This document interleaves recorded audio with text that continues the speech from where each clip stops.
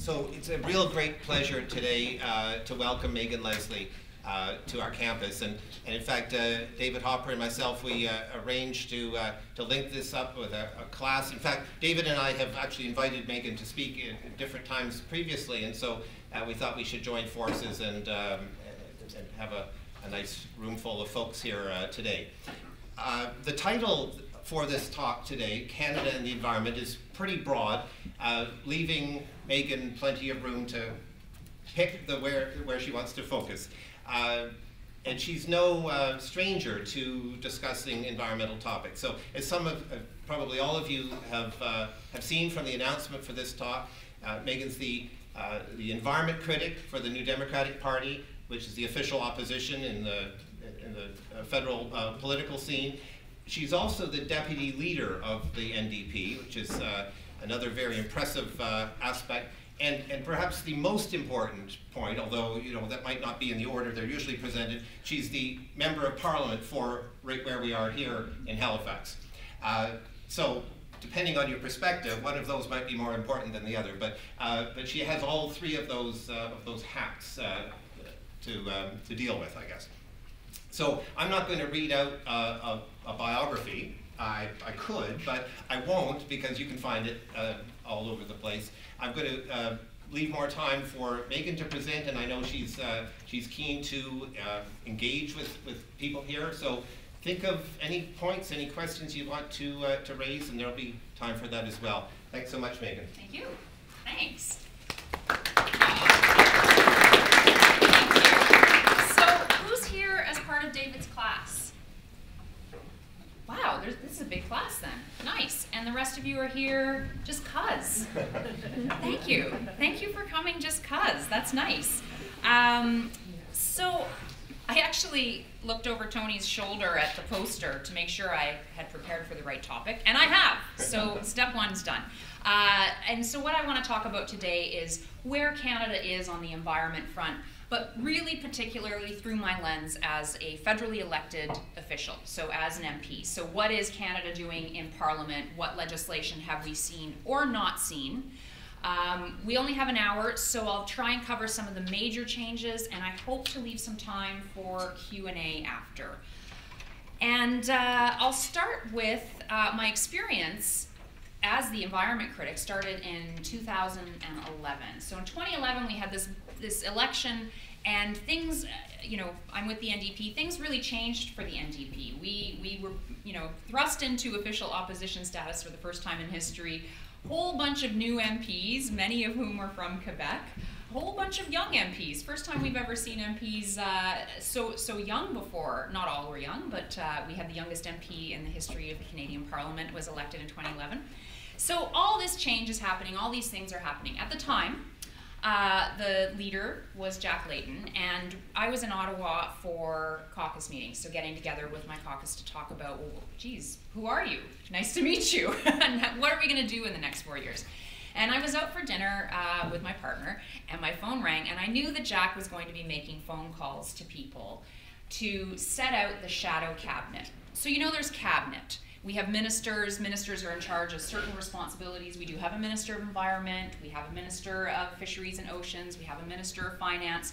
So usually the opposition parties will create something called a shadow cabinet where we designate certain people to be critics of those portfolios. So if there's a finance minister, we have a finance critic who is responsible for um, talking, talking about what is happening that the finance minister is doing, presenting that party's alternative to what the finance minister is doing and really communicating on behalf of that party on the finance portfolio. So I knew Jack was uh, making the phone calls to ask people to serve in the shadow cabinet, and he, uh, my phone rang, and I was in this little restaurant on Bank Street, and it was noisy as heck. So I ran downstairs. Uh, it was this is actually how politics works. Uh, I was in the grimiest, grossest hallway in the basement beside the men's washroom. And I was like, hey, Jack, how are you? No, no, no trouble. You're not interrupting anything. And he asked if I would serve as the environment critic. Now, I was pretty thrilled when he asked me to do that because all I've ever wanted to do all I've ever wanted to work on are issues of justice. And for me, justice is environmental justice, social justice, and economic justice. My background here in Halifax, I used to work at Dalhousie Legal Aid on poverty issues. So economic justice and social justice was at the forefront of the paid work that I was doing in Halifax. But environmental justice is also really important to me. Um, right, I was telling Tony I, I used to actually be, um, I was, I created the first ever environmental group at my high school, the Kirkland Lake Collegiate and Vocational Institute. And uh, we started up an environment group. I was the first ever president. Our name was Youth for Environmental Sanctity. Yes. it's like the worst name ever for a group. Uh, we were yes. And so I was really excited at this opportunity to serve as the environment critic. And so I was on the phone with Jack and I said, okay, I want to meet with you and talk about what is my mandate. What, what do you want me to work on? Uh, what do you want me to accomplish in this portfolio?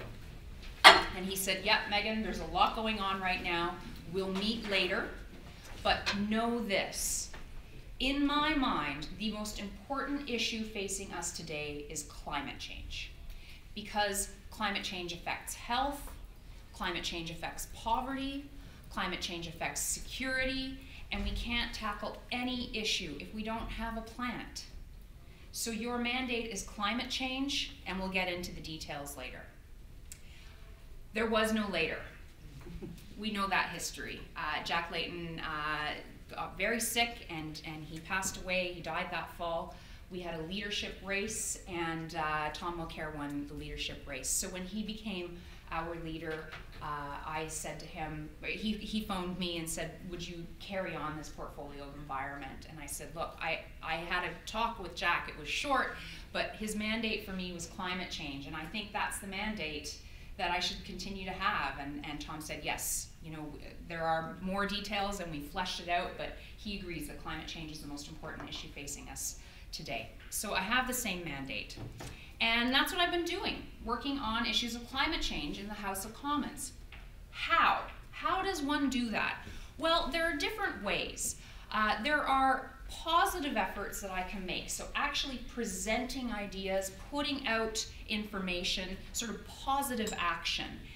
And how I do that, for example, is I ask questions about climate change in the House of Commons.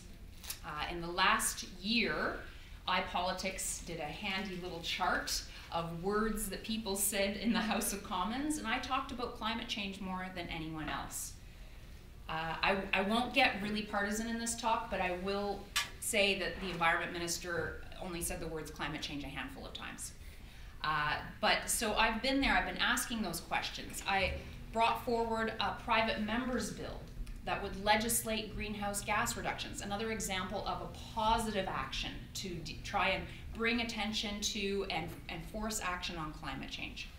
I've supported my colleagues in other parties, sometimes in my party, of course, when they want to bring forward legislation or private members' bills on energy efficiency or renewables or other greenhouse gas reduction number, uh, measures. And I've done those things while trying to get media attention to the issue, while trying to get Canadians engaged with the issue of climate change and have them believe that there is a role for government here and there is a role for the federal government here on the positive front as well, on the idea of being uh, an engaging and an initiator, you can also bring forward ideas to committee. So, when you have the Minister of Finance and the Department of Finance, you have the Minister of Environment and the Department of Environment. There are committees that are attached, not attached, but um, there are committees that fall under the same portfolio, and these committees are made up of members of the House of Commons. The committee membership is made up on a prorated basis, so based on the number of seats you have in the House. So we actually sit in a room with a rectangular table, and there is a chair. The chair is usually, not always, but usually a government member. So the chair is conservative, but in theory working as a neutral chair, in theory. there were, the, the committee composition changed a little bit recently, but there, there were four NDP members, one Liberal member, and six Conservatives. And that's based on the composition of the House. When it was the last Parliament and it was a minority, um, off the top of my head, I think there were three Liberal, two Bloc, one NDP, and uh, five Conservatives. So the Conservatives were outnumbered. So this is what happens at committee. This is the reality. Hey, where's the Green Party? Where's the Bloc? Uh, how come Elizabeth May isn't there? Well, you're not an officially recognized party unless uh, I'm actually going to pick on Andy. Is it seven?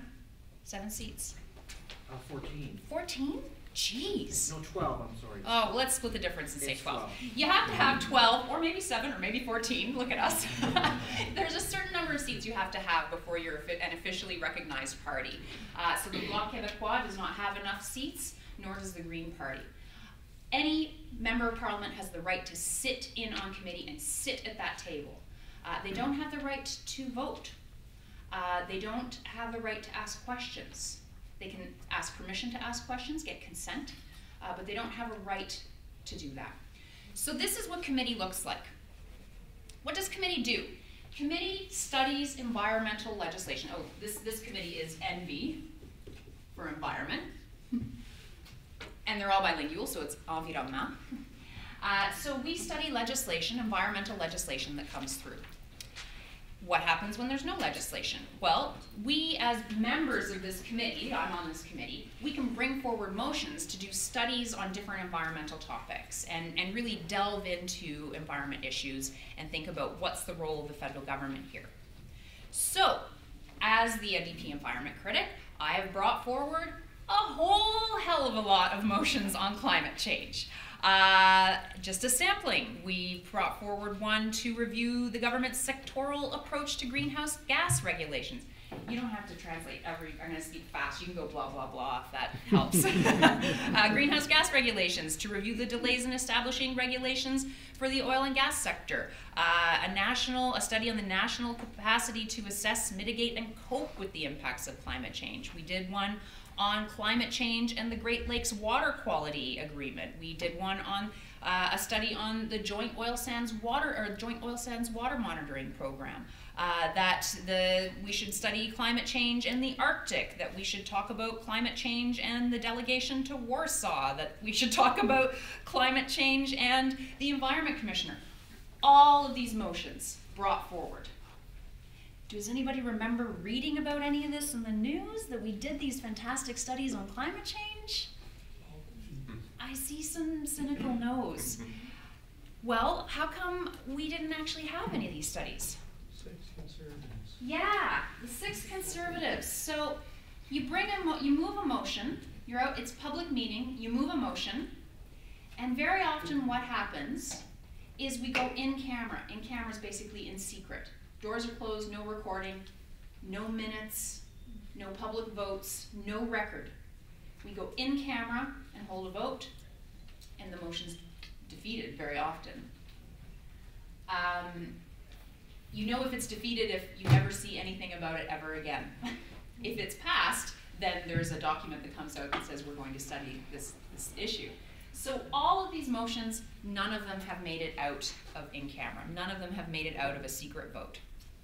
No minutes, no results, nothing. And it's not just that we're not able, we're not successful in getting these climate change motions brought forward to, to have these studies. It's not just that, it's actually more insidious than that. The motions that have passed, so there was a motion on uh, studying a conservation strategy. Okay, well, conservation, uh, and this wasn't conservation like energy conservation, this is conservation like land and animals and waterways. So, if there's a conservation plan, we would ask questions about climate change. Okay, that makes sense. If you're going to have a conservation plan, how does climate change impact it? Will you have to do different, have a different plan to deal with climate change adaptation? Uh, have you thought about there's a there, there aren't many seats, but grab a seat. Uh, maybe you'd have to think about using uh, conservation of land as a carbon sink. Like there are all kinds of ways to bring up climate change when you're talking about a conservation plan. What would happen? We would get ruled out of order. That climate change was outside the scope of the study of conservation, if you can believe it. And conservatives actually got smart, and I'm putting smart in scare quotes here, uh, so to speak, because they would create their own topics with really, really, really narrow subjects. So I'll use an example from the Health Committee. Health Committee had a study on the negative, oh, it wasn't negative, the harms, the harms of marijuana use. Harms. Couldn't talk about positive benefits of medical marijuana, couldn't talk about harms. Uh, we had, come on in, we had a talk on, or not a talk, a study at Natural Resources. Oh my gosh, this is actually really heartbreaking. Uh, natural Resources, and it was on the benefits of oil sands development. Well, I, have got no problems with the benefits of the oil sands development. I mean, I see the commercials, they're shoved down my throat every day. So uh, but the idea that you can't talk about anything else. And so Chief Allan Adam is the chief of Fort First Nation, a downstream First Nation from the oil sands, a downstream First Nations First Nation with documented higher elevated rates of, of very rare cancers. Uh, a, a, community where they can't drink the water, a community where they can't eat the fish. Like it's forbidden to eat the fish because the fish are contaminated. So Chief Allan Adam is testifying as a witness, and he starts to talk about the increased rates of rare cancer in his community. And I, I'm being taped. Uh, joke you not? What's what's the word without the sh word? Kid you I kid you not. Thank you. There's the yeah, the censors. I kid you not. The chair said, Chief Chief Adam, you're going to actually have to talk about the benefits of the oil sands because that's what this study is. So if you could Uh, limit your comments to benefits. So that's actually what is happening at committee. Any politician who tells you, oh, but the real work is done at committee and it's so fulfilling, is giving you a line. Nothing is happening at committee right now. We are able to accomplish nothing when it comes to climate change. So being the environment critic, you know, Jack Layton, to talk about him again, he always did say we can't just be oppositional, we have to be propositional. So I'm giving you these examples of being propositional, actually putting out ideas. But you know what? It is our job to be oppositional as well. So as a critic in a shadow cabinet, it's it would be your job to look at what it is that government's doing and react to it.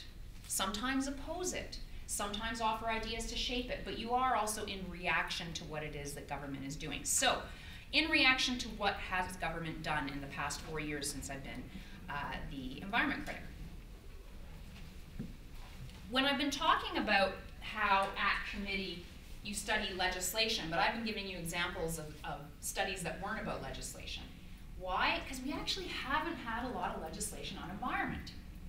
So something like the Species at Risk Act, it's in the legislation that you have to do a review. The House of Commons has to do a review of it after, is it five or seven years? I think it's five years. Some uh, different legislations, five versus seven. We have to do a legislative review at committee. It's not been done. Canadian uh, Environmental Protection Act, CEPA. There is a, I think it's seven for CEPA. There is a legislative review for CEPA. We haven't done that review. And there hasn't been very much environmental legislation coming down, so we haven't been able to look at things at committee. But in 2012, we had a flurry of legislative changes. So if you remember 2012, um, we had, there was a budget that came down. There's a budget that comes down every year. That's not unusual. In 2012, there was a budget that came down budget is not a legal document. It's, it's this idea, it's this concept. I, our government will do X and we promise to do Y. So it's, it's, it's sort of a theoretical document. It's not legislation. So in order to enact legislation, you, or you need to have a Budget Implementation Act. So it's a piece of legislation that says, here are the concepts in our budget and here's how we're going to do it. So the Budget Implementation Act in 2012, we actually had two of them, C38 in the spring and C45 in the fall. You probably heard lots about it in the news. They were giant omnibus budgets. Uh, they were hundreds and hundreds of pages long. They were rammed through really quickly. That's a story for another day. and that's separate to what's going on uh, with environment. I want to talk about what was in those budgets and how environmental legislation uh, and how our environmental legislative regime has changed since 2012. So the first thing in C38 is the Canadian Environmental, oh, can't even read that. What the heck does that say? Assessment Act, CEAA. So the Canadian Environmental Assessment Act, when there's going to be a project, you have to do an environmental assessment. Well, in 2012, CEAA uh, was not amended, it was not tinkered or tweaked, it was repealed and replaced with a new law. So what are we repealing? What, what's important about CEAA? Well, CEAA is one of the key federal laws that exists to promote sustainable development across Canada and prevent environmental degradation before it occurs. And that's really important because a lot of our environmental regulation, you think about fines, if people do, you know, they, there's a spill, there's fines, there's uh, maybe uh, criminal charges. A lot of what we have on the books is a reaction uh, this is about prevention of environmental degradation. And the key purpose of an environmental assessment is to look before you leap. So let's assess before we actually do this project and think about the long-term environmental consequences of a development proposal before we decide whether or not we should proceed. So environmental assessment under CEAA is one you know what, I'm going to skip to what the changes were. We did get a brand new law with CEAA. What are some, there's lots and lots and lots of changes. What are some of the key changes? One is appropriate substitute. So appropriate substitute. This is a key change. It says that a federal environmental assessment will not take place as long as the province has a quote appropriate substitute. So that kind of makes sense intuitively. It's like, well, if Nova Scotia's got a got an Environmental Assessment Act, then you know why should we redouble our efforts and do it federally? In your gut, you're like, yeah, I can deal with that. Except that across the board in Canada, until this new act, provincial legislation has been historically much weaker than federal legislation. And if we look at Fish Lake, for example, in British Columbia, a British Columbia environmental review gave a green light to a, a mining proposal to use Fish Lake as a tailings dump when an environmental assessment at the federal level said, no, we're actually rejecting this outright. So that's a huge change. The other, another big change is movement from trigger to list. What does that mean? With the old Environmental Assessment um, Act, an environmental assessment was triggered, so to speak, when a project touched an area of federal jurisdiction. So if you think about federal jurisdiction, migratory birds, right? They cross borders, they don't care, they're not just gonna stay in Nova Scotia, they're gonna go wherever they want. We can't control the birds, uh, and nor should we. So the, uh, if, if your project is going to impact migratory birds, that's federal, it would trigger an environmental assessment. If it uh, was a trans-provincial waterway, if you have a project that's going to affect a trans-provincial waterway, it would trigger an environmental assessment. Now, we don't have the trigger system, we have a list. So there are a list of projects that require environmental assessment. What's the problem with that? Well, the list is pretty small. The list can be changed by cabinet. It doesn't have to be a list that you and I agree on. Can be a list that, you know, five guys in blue suits agree on. The other thing with the list is there are some really important things happening out there that aren't on the list. So seismic testing in the Gulf of St. Lawrence is not on the list. 50 years ago, oil sands exploration would not have been on the list. Why? We didn't know we could do it. We just didn't know we would have that kind of technology. So can you imagine oil sands exploration and oil sands uh, uh, exploitation with no environmental assessment? It's hard to wrap around your head around. The Environment Commissioner came to committee. That was exciting. That was a moment where we did real things at committee. He came to committee and he talked about this change because we're studying the legislation. And I asked a question about uh, so there's probably going to be fewer environmental assessments now that there's just a list and not this trigger. And uh, I said, how many, wh what's the difference? And he said, well, right now the range, this is in 2012, he said, right now the range is from about four to 6,000 environmental assessments a year, and we're gonna see that drop to 20 to 30. And I said, 20 to 30 thousand? he was like, no, no, 20 for the whole country. So, really big change. The other really big change that I'll flag with you is public participation. So if you want to be involved in an environmental assessment, you want to engage in this process, it's going to affect you, it's going to affect your, your community. It used to be that an interested party could participate. If you were interested, come to the party, right? You're going to be a part of this. You can have some kind of way of participating in this process. Now it has changed to directly affected. What does directly affected mean? I don't know. If you are a scientist in Vancouver who studies um, uh, bitumen leaks on waterways, and they, that's happening in the you know the pipeline, the Northern Gateway pipeline, are you are you directly affected? I don't know. Uh, if you live 10 kilometers downstream, are you directly affected? If you live 100 kilometers downstream, are you directly affected? What about 1,000? So this is a significant change, and we haven't really seen how it's played out yet.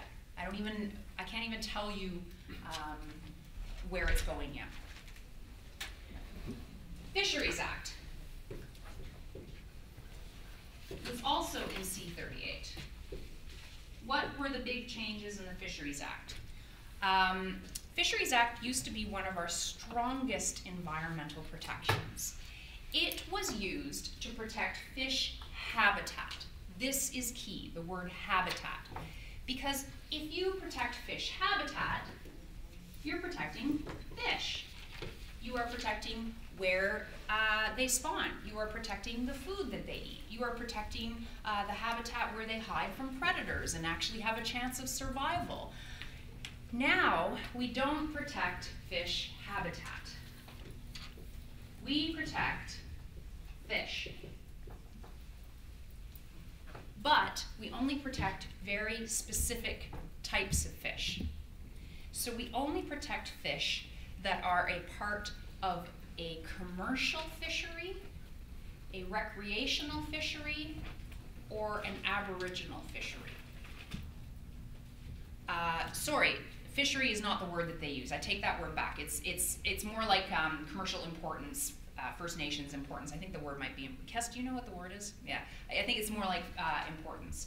Um, so commercial, recreational, or, or First Nations importance. Okay, so only those fish. So that means um, what? How do you protect them? They can't be harmed. They have to protect them from serious harm. What is serious harm? Serious harm is effectively killing them. So you can destroy their breeding ground. That's okay. You can maim them. You can deform them. You can kill their source of food. Essentially, with these new rules, a fish with three heads, the Simpsons fish, is a-okay, as long as you don't kill it. But you can kill it if it's not of recreational or commercial or First Nations importance. So huge, huge, huge changes. Then we have in the fall, C45, so another budget implementation act. All kinds of stuff, hundreds of pages long, all kinds of things are changed. But one thing that's changed that's very important to environment regulation in Canada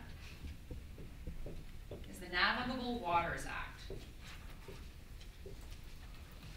So, first of all, the name has changed. Why is that important? it changed from Navigable Waters, oh, Protection Act. I'm too close to the board to see what I'm writing. To the Navigation Protection Act. So it means we're no longer protecting waters. We are only protecting navigation.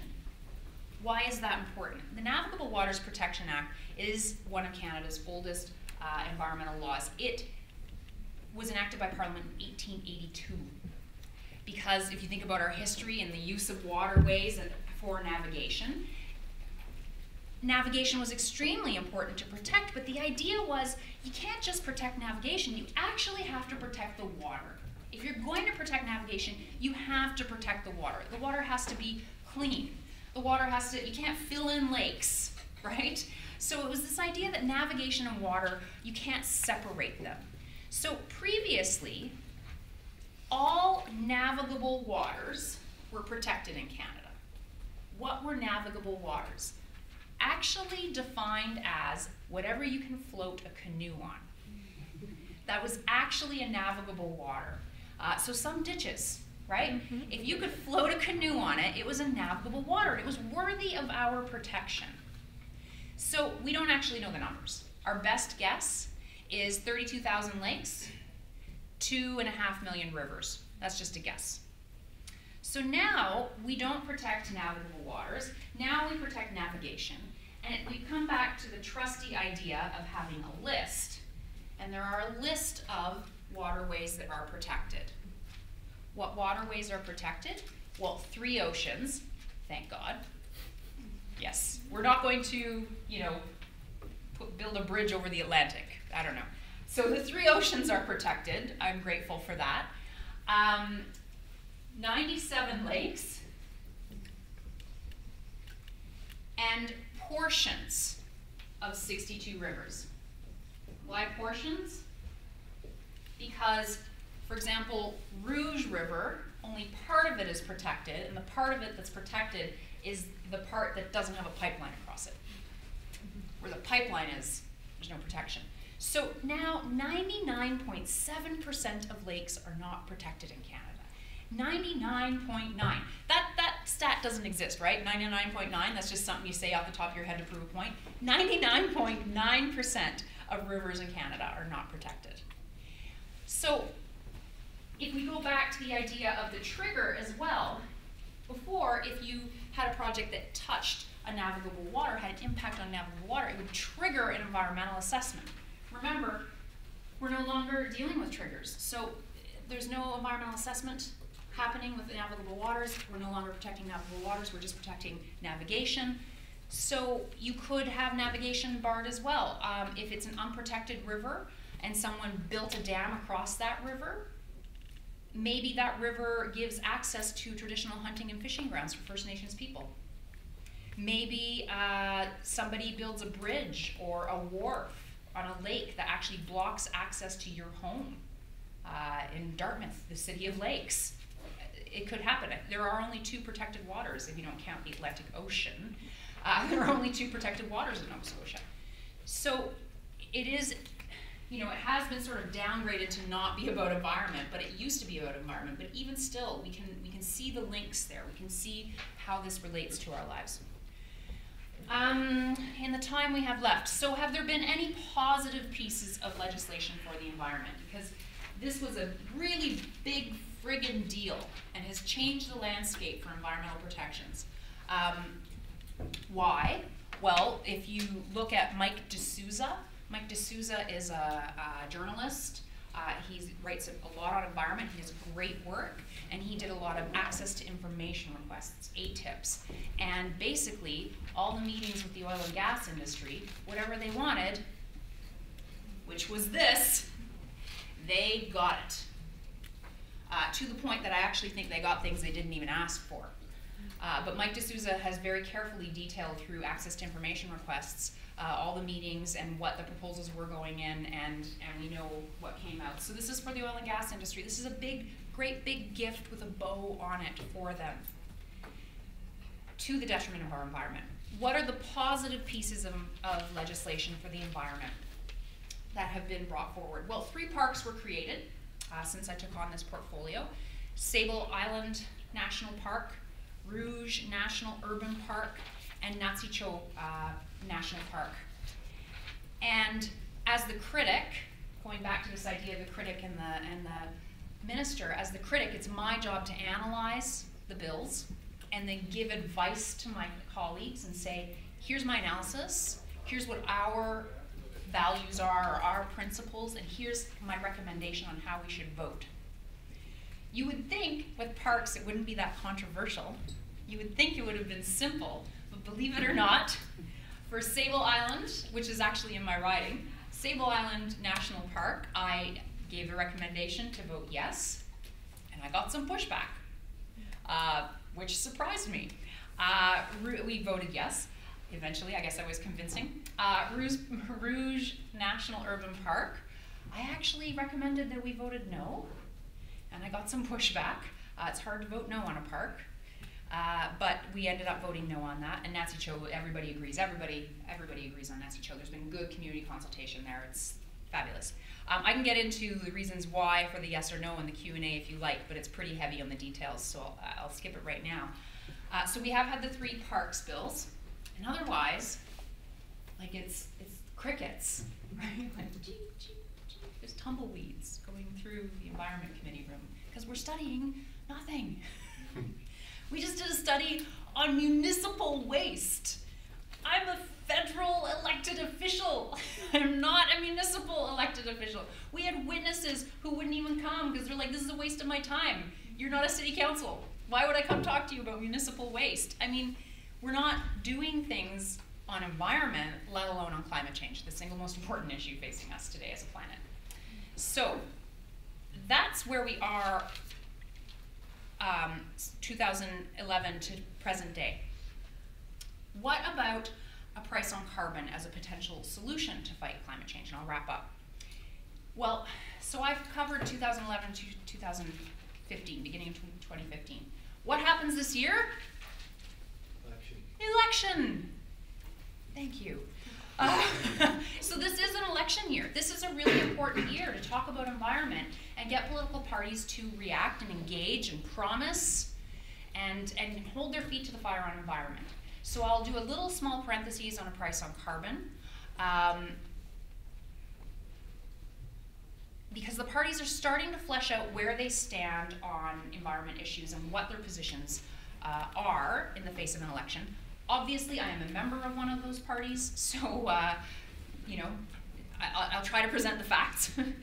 uh, the the Conservative Party of Canada, well, they used to have cap and trade in their platform, uh, but they now have demonized it, and and that is a statement of fact. If you watch question period, you see that they have have taken anything about a price on carbon. They now call it a carbon tax, no matter what the policy is.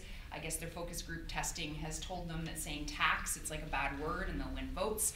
Uh, so they constantly stand up and uh, accuse the opposition writ large of wanting to implement a $21 billion carbon tax that will increase the price of everything.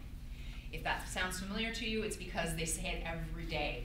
Uh, so there's no uh, plan for a price on carbon. Their plan to reduce um, greenhouse gases is a sector by sector approach, tackling one sector at a time transportation. Uh, what we've been doing is following the US. Quite frankly, they've introduced regulations and we've followed suit. Uh, we've tackled coal electricity, coal-fired electricity, but in my opinion, um, the, the uh, timelines are too long. We need shorter timelines to actually get provinces to act sooner rather than later. And then uh, the oil and gas sector is the largest and fastest growing sector for GHG emissions. And recently, under questioning from me, uh, the Prime Minister said that to regulate that sector would be crazy. So they're not going to do it. I, that's what I read into that anyway.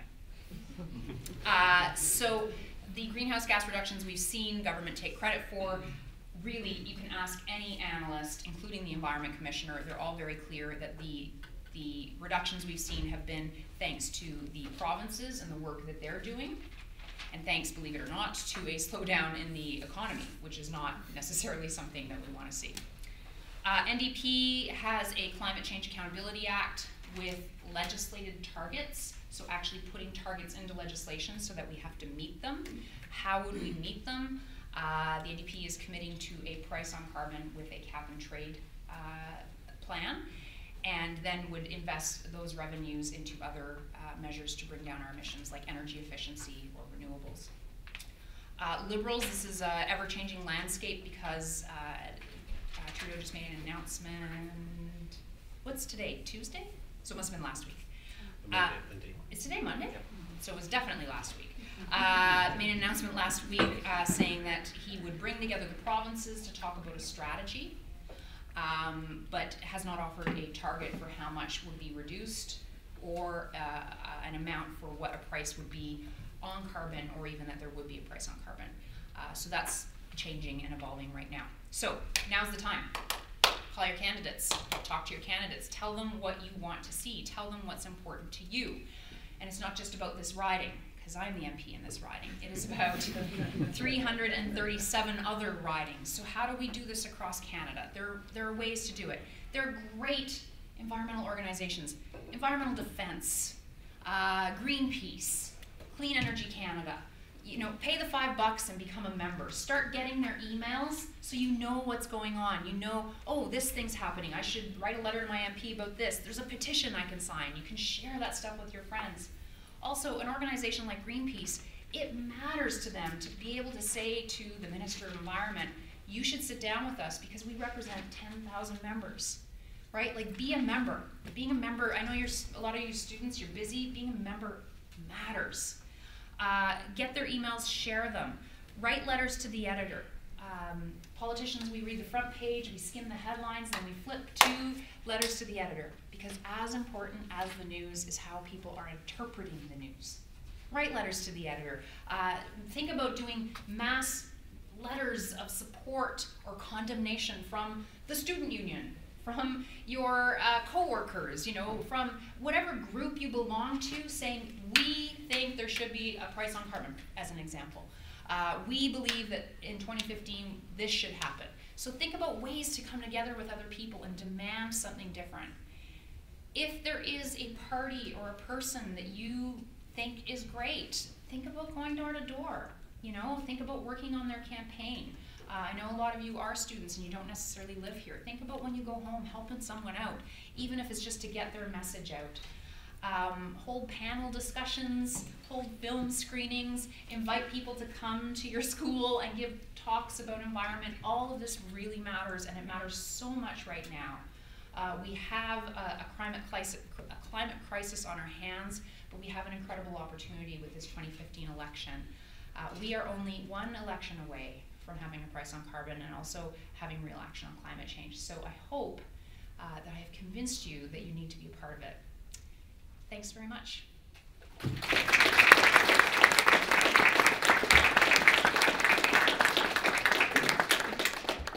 There's about 10 minutes if anybody has any questions or comments or wants to tell me why I'm wrong.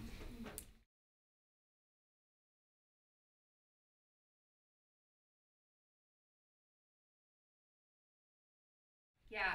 Uh, are we an election away from getting those acts fixed or yeah? Uh, that is a really tough question for me to answer, and I'm not saying that like a cagey politician. Um, so something like the Fisheries Act. Yeah, I could write I could write the legislation and change it like that. It's actually that easy. But then when I talk to scientists, they tell me that because of the layoffs at Environment Canada and the cuts to funding to Environment Canada, we don't actually have the capacity to do the work and do the monitoring. So there will be a period of time of rebuilding that capacity and investing in science and scientists. So that's one example. Environmental Assessment Act is another example. Do you, do you guys, uh, I was going to ask if you knew a Prophet Talbot. Um, the Environmental Assessment Act in 2011, yeah, in 2011, I was on a monthly phone call, conference call with folks who are really experts in CEAA because we want to talk about how to make it better because it wasn't working. So I'm hard pressed now. Now I'm like, give me something inadequate back. I want the inadequate legislation. I won't complain. I'm sorry. I'm sorry. I complain. But I wouldn't want to bring that back because it, it wasn't as good as it could have been. So that's a tougher question, right? So I think it's going through each piece. This is easy, this is this is not easy. This this is easy. But then we need to change the trigger. So it's a long answer to your question, but yeah.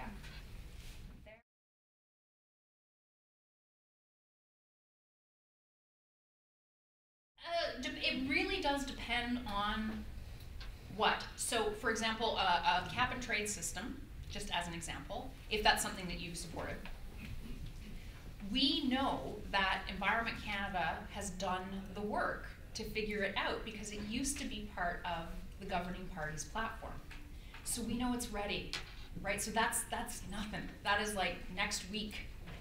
Uh, so it, it's case by case, and I don't want to, you know, fake it and Yeah. say it'd be easy.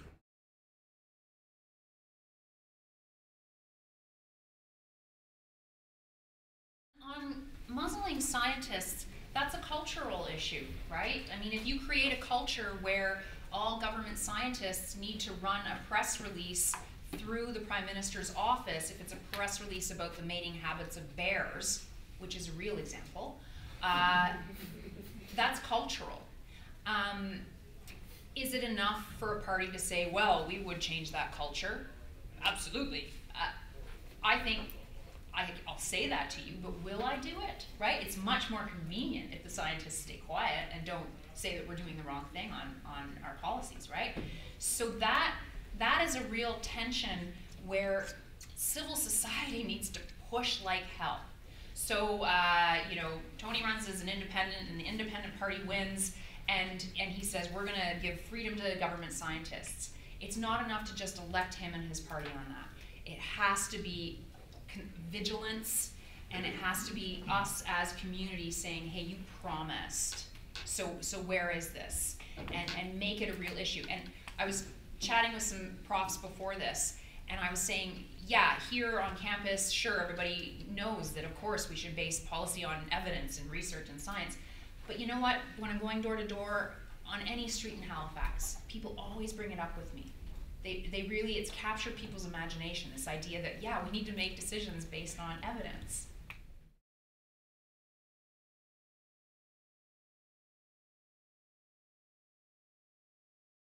Like, But I think we can. it. We can. We can. We need the political will, and we need that. We need community to say, yeah, that's what we want.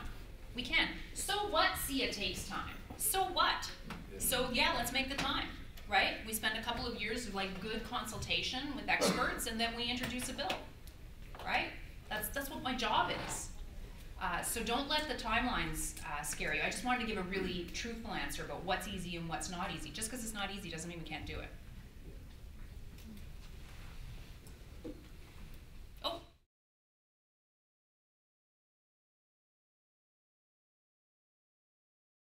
Why do you think they don't care about environment?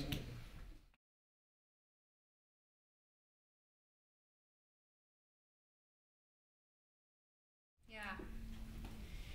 Yeah, I don't have the answer. I don't. Uh, you know, I do. I it, I think it's more complicated than, um, you know, saying, well, the Conservative Party is at the behest of the oil and gas companies because they make campaign contributions. Well, they don't, right? Because we don't have, uh, you can't make campaign contributions in that way in Canada. The max is uh, 1,200 as an individual. A company can't make a donation. A union can't make a donation. Only a person can. So uh, I, it's it's bigger than that. Um, it is maybe a little bit about geography and where those MPs are from, uh, and the economic powerhouse that oil and gas is in, in some of, in a couple of those provinces, two two of our provinces. Um, it is long-standing relationships. I mean, if you look back in the history of uh, um, you know Harper's history as a politician, he has had long-standing relationships with the oil and gas industry. But you know, it's not. I'm not up here to say that industry is evil either. I mean, it is No. part of our economy, a hundred percent. But you can't put all your eggs in one basket. And if you were going to put our collective resources into promoting um, the energy economy, don't you think you should be promoting a diverse energy economy? Right? Why aren't we investing in greens? If we go back to the example of the oil sands, and remember how I said 50 years ago we wouldn't have had environmental assessment because we didn't know we could do it. We didn't know we could do it. How in the hell do you get oil out of this sticky sand in northern Alberta and Saskatchewan? Well, we sent some plucky scientists up there uh, on a lick and a prayer and said, go research this and figure it out. And they got nowhere for the longest time. And it was always this, oh my gosh, it might even be a waste of money to put, you know, why are we putting so many resources into trying to figure this out? Well, it was, it was our money, it was government money to do science and figure it out and, and realize that challenge. And we did it. It's quite spectacular. So you know what? Suncor and Esso and Shell and Syncrude, they don't need our help anymore. They, they've got it figured out and they're making money. And yet we continue to give them subsidies to the tune of $1.3 billion a year. When you look at Tidal, here in Nova Scotia, we're experimenting with it. Tidal is now where oil sands extraction was 50 years ago. Tidal doesn't work yet, you know, but we're almost there. And we have this experiment happening in the Bay of Fundy where they put down this giant turbine. And it was, you know, it's a great project and there's some federal money and provincial money and Nova Scotia Power is involved. And they put this turbine down and a couple months later, the, the turbine blew apart. Like it self-destructed. And the initial reaction was, oh man, you know, they don't even know what they're doing. What a failure. Of course, it's a failure. I can't believe it blew apart. It shows you that, you know, you can't make this work. Are you kidding me? The fact that engineers and scientists and specialists who know how to do this, they built a turbine, and the tides are so strong, there is so much power that it blew apart the turbine, that is an incredible success.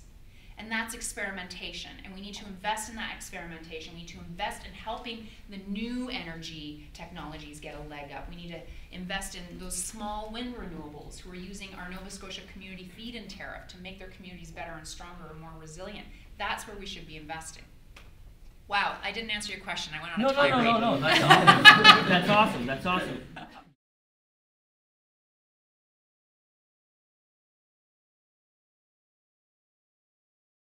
You know what? The stuff I was talking about, community engagement, it all matters. It really does. When I first got elected in 2008, I was getting letters about um, not violence against women, that's the hugest understatement. Um, some people call it femicide, wiping out women, but the attack on women in the Democratic Republic of Congo, using rape as a, as a weapon in the Congo. And I was getting letters about it from constituents, right? Like just folks like you. And so I went to our critic, I went to Paul Dewar, who was our foreign affairs critic, and I said, Paul, I'm getting all these letters about um, Democratic Republic of Congo, and uh, like, why, you know, is there something in particular, like, that, is it in the news right now? Like, what's happening, why am I getting these letters? And Paul said, I have no idea why you're getting those letters, because nobody gets letters on the Democratic, Democratic Republic of Congo. And then he stopped and he said, Oh, wait a minute. Halifax, right. And he said, You got, or at the time, you got the Pearson Peacekeeping Institute. You have two international development studies um, departments at two different universities. You have Pugwash peacekeepers. You have a long, storied history of peace movement and Voice of Women for Peace and people who are engaged on foreign affairs issues that collective sensibility in this community of Halifax has shaped my response to issues around foreign affairs. So all of that, like you think, you know, holding a film screening where like six raging grannies show up doesn't matter. It matters. It mm-hmm. all, it, like it changes the culture of a community. So all that stuff, all that stuff.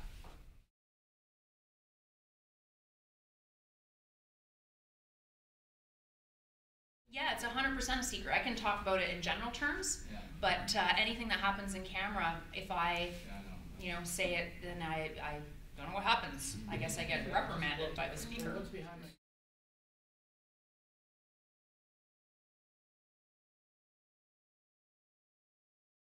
Excuse No, that you don't need a reason. Yeah. So it, it, it could be just as simple as that? Yeah, and so this is me. Like it, like I know it seems weird that that's where I sit, but this is actually the seating plan. so this is me as the environment critic, and there there is party line, right? Uh, so my my other three folks are there. Maybe they're really passionate about the issue of the day. Maybe they're not. Maybe they're just trying to get through the day and they got no idea what the hell we're doing in committee today. I'm the one sort of like quote unquote in charge, right? On the conservative side, it's the parliamentary secretary who's sort of like the junior minister, and the PS is in charge. And the PS, like, if the PS says we're voting for this, you're voting for it uh, or you are under like some pretty serious, I don't know, you get time in the bad dog box. I don't know how it works over there. Um, I have seen, and I don't. This wasn't in camera actually. I have seen. Uh, the PS and I actually, I managed to get her to agree with me on something. And uh, this this guy's like a real rabble rouser, Woodworth. and and he's like arguing against me about like no no no we can't blah blah blah blah blah and then the parliamentary secretary spoke via the chair and said mr chair i would like the members uh, my members on my side to realize that i am the parliamentary secretary and we are voting for and it was done like in that moment it was good for me uh, but yeah you so that's it's it's the ps and the ps works out of the minister's office in theory but but really out of the prime minister's office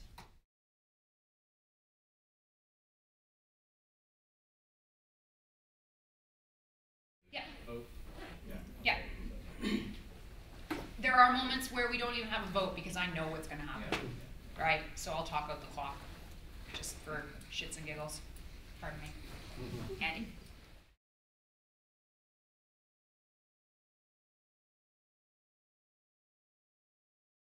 Thanks, and I'll do, try and do this quickly, uh, because we are a little bit over five.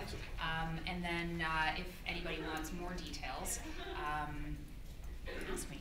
Uh, how would I improve? Thank you for asking the question that way, because I'm really sick of this, you know, this way is, carbon tax is better, or cap and trade is better, fee and dividend is better. Uh, You know what? I want a price on carbon.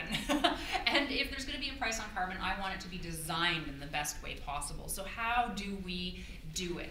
Well, one thing that I would do, and this is perfect, your example of Europe. Uh, so, um, er, well, failures around the world. Um, so Europe, uh, the European Union had a, a pretty big failure when the economy tanked. Uh, you heard me talk about here in Canada, our emissions went down, right? Because we're not producing as much. So same thing happened in Europe. The emissions went down just quite naturally because the economy uh, was was on the on the slide. So then cap and trade didn't work, right? Uh, there's nothing. We didn't have a cap that we needed to worry about. So Europe, uh, the EU, is doing a tremendous thing, and they almost have they might not like the way I put this, but they almost have like these cap and trade ambassadors. Where if you are a jurisdiction trying to set up cap and trade, they'll send someone to come talk to you to talk about like this is where we got it wrong, this is how you can improve it, uh, this is a problem, keep an eye out for this. So for me, it is about a well-designed program. So I would absolutely look at what it is that other jurisdictions have learned and, and how it is working and how it's not working and, and base it on best practices uh, first and foremost. The other thing with uh, low income, because that's really a big, big, big deal for me, is what do we do about low income? Um, people say, you know, jack the price up for gas because then people will use less of it. Jack the price up for oil because people will use less of it. Well, if you're a low income person in Nova Scotia, you live on $6 a day if you're on welfare. Okay, so you could change your light bulb that costs six dollars, put in a CFL light bulb, use less, recoup that money over the course of a year and a half, or you could take that six dollars and you could eat. Right? These are real. Like I know in my old work um, at Dal Legal, I knew people who cut their pills in half so they could save money, or take their pills every other day, or not get their prescriptions filled at all. There are people in our province that go to the food bank and pretend they have cats so that they can get cat food. That is real. So the answer isn't jacking up the price so that people will conserve. the answer is looking at an equitable, uh, you know, uh, how to design a policy that is more equitable. So for low income and cap and trade, there has to be a specific component for low income people. And so the way I envision that, I'm open to other suggestions, is you have revenues from cap and trade, you invest them into other programs to bring down your greenhouse gas emissions, but they have to be targeted for low income as well. You need specific programs targeting low income. A perfect example here in Nova Scotia, we have Efficiency Nova Scotia, which is North America's only arm's length energy efficiency utility. So it's a utility, imagining that energy efficiency is a thing that, you know, we have to have a utility. we this is energy. They have specific targeted low income programs that are not the most cost effective. They're not the low hanging fruit, right? If you want the most cost effective, we're going to go into every commercial establishment and retrofit their lighting. But they have a program for low income because it's fair, because it's equitable. So we need we need to do that um, and and make legislate it. You know, like there it has to be there has to be a component for low income. But I'm also open to ideas if you have ideas. Um, and I know that we do need to wrap up. So thank you. You've been a delightful and attentive audience. Um, get out there and vote.